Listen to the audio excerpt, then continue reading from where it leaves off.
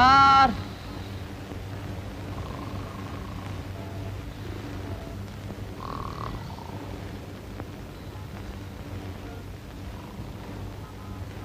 Sir sir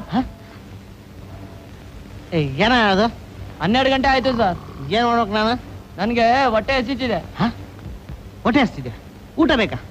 ಏಯ್ ನಿನ್ನೆವರೆಗೂ ಆಚೆ ಕೈಯಲ್ಲಿ ಜೇಂಡಾಡ್ಕೊಂಡು ಉಪವಾಸ ಮಾಡ್ತೀನಿ ಊಟ ಬೇಡ ಅಂತ ಹೇಳ್ತಿದ್ದು. ಮರ್ತೋಯ್ತಾ? ಈ ಒಳಗಡೆ ಬಂದ ತಕ್ಷಣ ಊಟ ಕೇಳ್ತೀನೋ ಬೋಳಿ ಮಗನೆ. ಹೋಗ ಮಲ್ಕೋಗ. ಅದಕ್ಕೇನೆ ಸರ್ ಸತ್ಯಾಗ್ರಹ ಮಾಡಿ ಒಳಗ್ ಬಂದಿರೋದು. ಅಲೋ ಒಂದು ಮುಖ್ಯವಾದ ಕೇಸ್ ಬಗ್ಗೆ ಯೋಚನೆ ಮಾಡ್ತಿದ್ದೆ ಕಣೋ. ಕರ ಕರ. ಯಾಕಯ್ಯ ಡಿಸ್ಟರ್ಬ್ ಮಾಡ್ತೀಯಾ? ನಿದ್ದೆ ಮಾಡಬೇಡಿ ಸರ್. ಹೊಸ ಸಾಹೇಬ್ರು ಬರ್ತಾರೆ ಅನ್ನೋ ಭಯನೇ ಇಲ್ವಲ್ಲ ನಿಮ್ಗೆ? ಹ? ಭಯ? ನನಗೆ ಭಯ? ಲೋ ಯಾವ ಮಹಾ ಇನ್ಸ್ಪೆಕ್ಟ್ರು ನನ್ನ ಇಪ್ಪತ್ತು ವರ್ಷ ಸರ್ವಿಸ್ನಲ್ಲಿ ನಾನ್ ಕಾಣಿದ್ರೆ ಇನ್ಸ್ಪೆಕ್ಟರ್ ಏನೋ ಅವನು? ನೋಡು ಎಷ್ಟೋ ಹೊಸ ಇನ್ಸ್ಪೆಕ್ಟರ್ಗಳು ಬರ್ತಾರೆ ನಮ್ಮ ಹತ್ರನೇ ಕೆಲಸ ಕಲಿತಾರೆ ಹೊರಟೋಗ್ತಾರೆ. ಇಂಥ ಸಾವಿರಾರು ಜನ ಇನ್ಸ್ಪೆಕ್ಟರ್. ನಮಸ್ಕಾರ sir. Good sir good sir ಏನ್ ಸರ್ ಹೇಳು good sir good morning good morning sir yes sir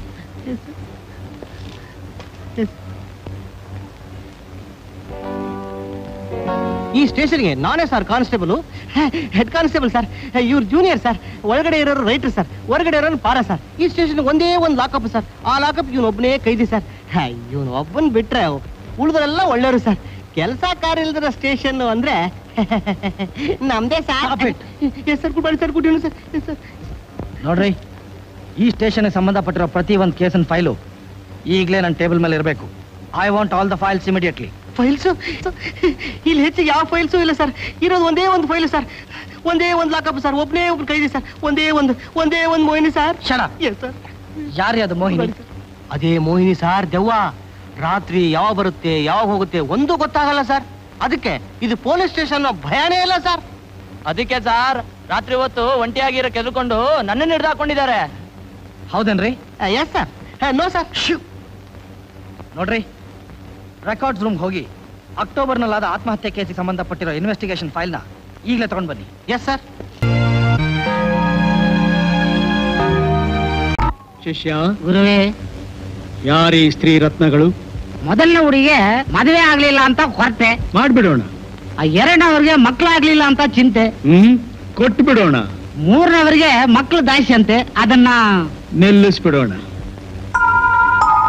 ಸ್ತ್ರೀ ರತ್ನಗಳೇ ಇಂದಿಗೆ ನಿಮ್ಮ ಚಿಂತೆ ತೀರಿತು. ಆ ನನ್ನ ತಾಯಿ ಕಾಳಿ ಎಲ್ಲರಿಗೂ ಅನುಗ್ರಹ ಮಾಡ್ತಾಳೆ. ಶಿಷ್ಯ ಗುರುವೇ.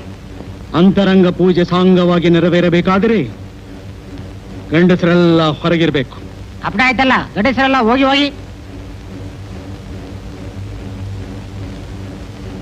ಗುರುವೇ ಗಂಡಸರೆಲ್ಲ ಆಚೆ ಕಳಿಸಾಯ್ತು ಹ್ಮ್ ನೀನ್ ಮಾತ್ರ ಏನು?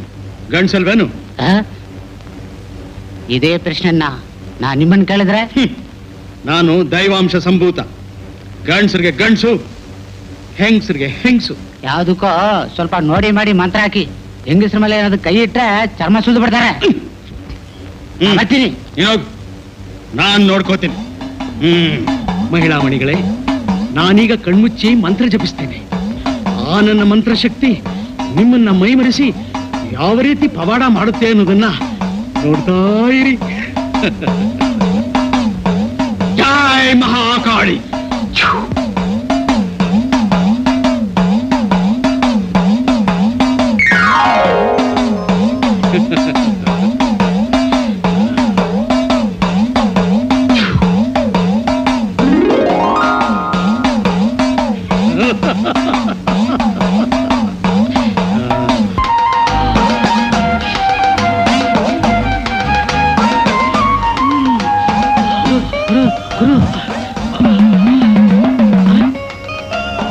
ಇದುವರೆಗೂ ನಾನು ಯಾವ ಲೋಕದಲ್ಲಿದ್ದೆ? ಸ್ವರ್ಗ ಲೋಕದಲ್ಲ ಚಂದ್ರ ಲೋಕದಲ್ಲ ಭೂಲೋಕದಲ್ಲಿ? ಸಬ್ ಇನ್ಸ್ಪೆಕ್ಟರ್ ನಿಮ್ಮನ್ನ ಸ್ಟೇಷನ್ ಕರೀತಿದ್ದಾರೆ. ಬೇಗ ನೋಡ್ರಿ ಬೇಗ. ಸಬ್ ಇನ್ಸ್ಪೆಕ್ಟರ್ ಕರಿತಾ ಇದ್ದಾರ?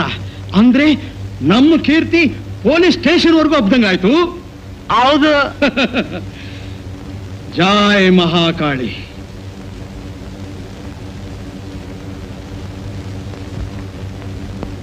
ಮಹಿಳಾ ಮಣಿಗಳ ಇನ್ನು ನಮ್ಮ ಪೂಜೆ. ನಾಳೆ ಮುಂದುವರ್ಸೋಣ? ಅವರು ಹೋದ್ರೆ ಹೇಳಾಯ್ತು ನಾಳಿದಿಲ್ಲಲ್ಲ.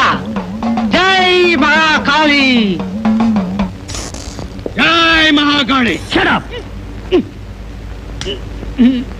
ಏನಿದು? ಮೂಳೆ ಮೂಳೆ ಸಾರ್ ನನ್ನ ಮೈಯಲ್ಲಿ ಮೂಳೆ ಇದೆಯೋ ಇಲ್ವೋ? ಆದ್ರೆ ನನ್ನ ಕೈಯಲ್ಲಿ ಮೂಳೆ ಇಲ್ಲದೆ ನಾನು ಹೊರಗಡೆ ಹೋಗದೇ ಇಲ್ಲ. ಯಾಕೆ? ಅಲ್ಲೇ ಸಾರ್ ಇರೋದು ಮಂತ್ರದ ಮಹತ್ವ. ಚೊಚ್ಚಲ್ ಮಗನ್ ಬುರುಡೆ ತೆಗೆದು ಮಸಿ ಮಾಡಿ ಕಪ್ಪು ಮಾಡಿ ಅದನ್ನ ಮೂಳೆ ಚೆನ್ನಾಗಿ ಉಜ್ಜಿ ಗುಟ್ಟು ಗುಟ್ಟು. ಹೇಳ್ಬಾರ್ದು ಹೇಳಿದ್ರೆ ಪಲ್ಸಲ್ಲ. ನಾನು ಕೇಳೋ ಪ್ರಶ್ನೆಗೆ ಮಾತ್ರ ಉತ್ತರ ಹೇಳು.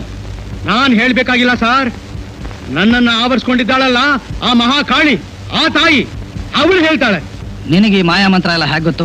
ಎಲ್ಲ ನಮ್ಮ ಗುರುಗಳ ಆಶೀರ್ವಾದ. ಯಾರು ನಿನ್ ಗುರು? ಗುರು ಜಗದ್ಗುರು ಜಗದೇಕ ಗುರು. ಶ್ರೀ ಶ್ರೀ ಶ್ರೀ ಚಿದಾನಂದ ವರ್ಮ ಅವರ ಪರಮ ಶಿಷ್ಯ ನಾನು. ಎಲ್ಲಿದ್ದಾರೆ ಅವರು ಗೊತ್ತಿಲ್ಲ ಸರ್ ಅವ್ರ ಶಿಷ್ಯ ಅಂತ ಹೇಳ್ಕೊತಾ ಇದೀಯಾ? ಏಕಲವ್ಯನಿಗೆ ದ್ರೋಣಾಚಾರ್ಯರು ಹೇಗೋ ಹಾಗೆ ನನಗೆ ನನ್ನ ಗುರುಗಳು. ವರ್ಮನ್ಗೆ ಮಾಯಾ ಮಂತ್ರ ಎಲ್ಲ ಗೊತ್ತಿದ್ಯಾ? ಗೊತ್ತಾ? ಗೊತ್ತಾ ಅಂತ ಕೇಳ್ತೀರಾ ಸರ್? ನೋಡಿ ಆ ವರ್ಮನ್ನ ಸಾಧಾರಣ ಮನುಷ್ಯ ಅಂತ ತಿಳ್ಕೊಬೇಡಿ. ಉದಾಹರಣೆಗೆ ಒಂದೇ ಒಂದು ವಿಷಯ ಹೇಳ್ತೀನಿ ಕೇಳಿ.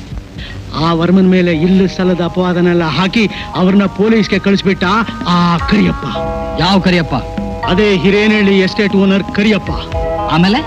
ಆಗ ವರ್ಮ ಹೇಳಿದ್ರು ಏ ಕರಿಯಪ್ಪ ಪೊಲೀಸ್ಗೆ ನೀನ್ ನನ್ನನ್ನು ಹಿಡಿದು ಕೊಟ್ಟಾಕ್ಷಣ ನಾನ್ ನಿನ್ನನ್ನು ಸುಮ್ಮನೆ ಬಿಟ್ಟು ಬಿಡ್ತೀನಿ ಅಂತ ತಿಳ್ಕೊಬೇಡ. ಒಂದು ಮಾತ್ರ ಜ್ಞಾಪದಲ್ಲಿ ಇಟ್ಕೋ. ನಾನ್ ಎಲ್ಲೇ ಇದ್ರು ನಿನ್ನ ಮೇಲೆ ಸೇಡ್ ತೀರ್ಸ್ಕೊಂಡೇ ತೀರ್ಸ್ಕೋತೀನಿ. ಬರ್ದಿಟ್ಕೋ ಅಮಾವಾಸ್ಯೆ ರಾತ್ರಿ ಅಕ್ಟೋಬರ್ ಇಪ್ಪತ್ತನೆಯ ತಾರೀಕು ನಿನ್ನ ಮಗಳು ಕ್ಲೋಸ್ ಅಂದ್ರು. ಅದೇ ರೀತಿ ಅಮಾವಾಸ್ಯೆ ಬಂತು. ಇಲ್ಲಿ ಕರಿಯಪ್ಪನ್ ಮಗಳು ಮೇನಕ ನೆಗೆದು ಬಿದ್ದೋದ್ಲು ಇದರಿಂದ ಏನ್ ಗೊತ್ತಾಗತ್ತೆ? ಮಂತ್ರಶಕ್ತಿ ಮುಂದೆ. ಯಾವ ಶಕ್ತಿನೂ ಇಲ್ಲ ಸಾರ್. ಯಾವ ಶಕ್ತಿನೂ ಇಲ್ಲ. ವರ್ಮನ ನೀನ್ ನೋಡೇ ಇಲ್ಲ ಅಂತಂದ್ರೆ ಇದೆಲ್ಲ ನಿನ್ಗೆ ಹೇಗೆ ಗೊತ್ತು? ಒಂದು ದಿನ ಕರಿಯಪ್ಪ ಖುದ್ದಾಗ ನನ್ನ ಕರೆದು ಈ ವಿಷಯ ತಿಳಿಸಿದ್ರು. ಆಗ್ಲೇ ನನಗೆ ವಿಷಯ ಗೊತ್ತಾಗಿತ್ತು. ಸರ್, ನಾನು ಈ ವಿಷಯ ನಿಮ್ಗೆ ಹೇಳಿದೆ ಅಂತ ಯಾರಿಗೂ ಹೇಳ್ಬೇಡಿ ಸರ್. ಆ ಕರಿಯಪ್ಪನಿಗಂತೂ ಹೇಳೇಬೇಡಿ ಹೇಳಿದ್ರೆ ಅವನು ನನ್ನನ್ನು ಕ್ಲೋಸ್ ಮಾಡ್ಬಿಡ್ತಾನೆ.